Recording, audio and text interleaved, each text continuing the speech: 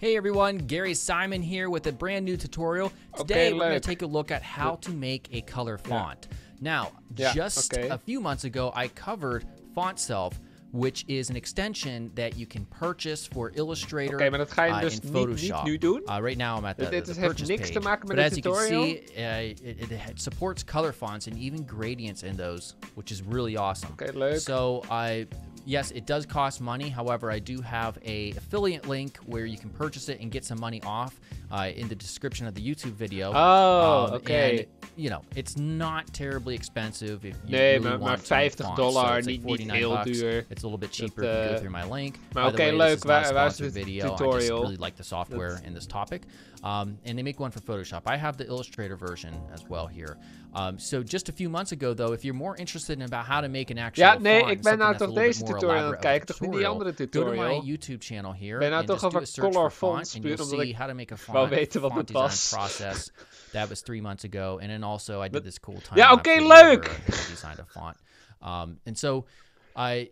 If you if you have it and you want to use it okay, uh, ga- install it, ga- gaan we nu um, just tutorial follow along. Here is uh, the actual project we're going to do from scratch. Oké, um. Right here, I'm just going to do two letters, A and C, and you can see that it does have a gradient here. Um, and then I'm going to show you how to actually get it into Font Self Maker and then export it as an actual font that could be installed on your system. Then I'm going to demonstrate. laat zien dan. This is in Photoshop. Um, that it is an actual font. Yeah, maar we As you can gingen see, in I call it a color Illustrator. font right there oké, maar... um, that you can use and edit. Awesome stuff. As you can see, it's also a type letter. All right. So I, if you're, you know, if you haven't yet, make sure you subscribe on the YouTube channel. And also for today's nee. question, op. are you self-taught or are you going to school or Wat moet ik college hiermee? for code slash design? All right, I'm kind of interested in what my audience makeup is in terms of self Kom op, ik wil gewoon een tutorial. We zijn, we zijn in twee minuten. to go to a college to learn code and design. All right, let's get started. All right. So over here at fontself.com, I first, if you want to purchase this and follow along and you want to make your own color font, um, click on the there's a sponsored link. It's an affiliate link. Ja, dat heb ik toch uh, that I'm gonna put in the description of the YouTube video. Um, and that will give Kom you I think, a few bucks off, like five bucks off or something like that. Um, but for pricing, you know, it's like 49 bucks. Dit heb ik um, for dit heb je net either. Illustrator version or zou je dit Photoshop version. I have the video Illustrator doen? Version. Um, I think you do get a discount. Eén keer is al um, and I get keer te $5 veel. If you want to support the channel. Ik wil Whatever, gewoon you de don't have to. tutorial zien. Anyhow, we zijn nu um, drie Once you minuten. download it Drie minuten. and then install it, uh, En insta- hier, be- hier begint dan de tutorial. Het, het is ook niet eens zo'n hele interessante tutorial trouwens.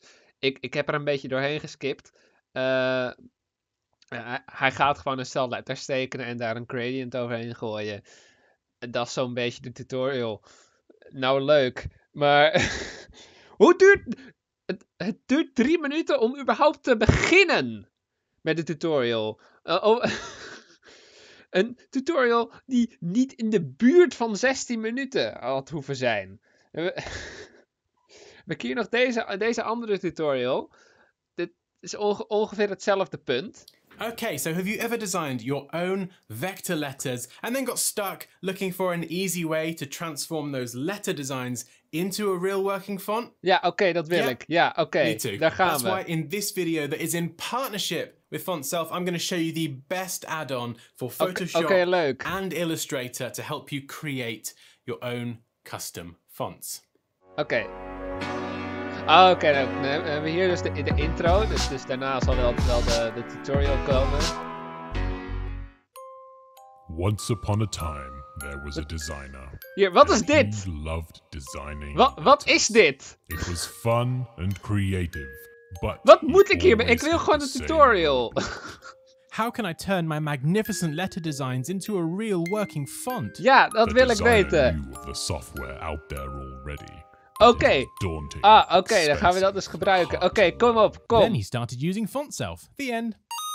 And now I'm going to show you just how easy it is to transform your font design into a real working font in, mm, let's say, under 30 seconds. Okay, let's see. Congratulations, you've already designed your letters and they are magnificent.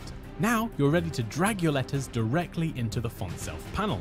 Click the Smart button, select your preferences, and continue by selecting the Smart Spacing and Kerning button. Click Install and give your font an incredible name. There we go. Hier, Done. Your custom font Dit, can dit now be is used op zich een goede tutorial. Het is gewoon... Okay, so that dit, dit is gewoon, gewoon. In principe heb je alle benodigde informatie.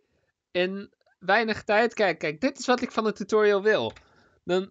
happened pretty fast. So let's just rewind a Hier. bit. de- de- kijk, kijk, hij gaat hier. Gaat hij op de een of andere manier 23 minuten over doen om hetzelfde te doen. En kijk, er wordt wel wat, extra's verteld. Maar het, die minuten hierna die voegen niet, niet heel veel toe. Ik, ik, ik heb dit, dit ook gekeken als, als, eh, voor, voor, voor het maken van deze video. Maar in principe niet die 20 seconden van net. Dat, dat was het enige dat nodig had geweest. Waarom zijn YouTube tutorials altijd zo lang en langdradig en oh nee, eh, doe eerst abonneren en ah, ik heb een affiliate link en geef me geld en ah, en eh, maak gewoon een punt.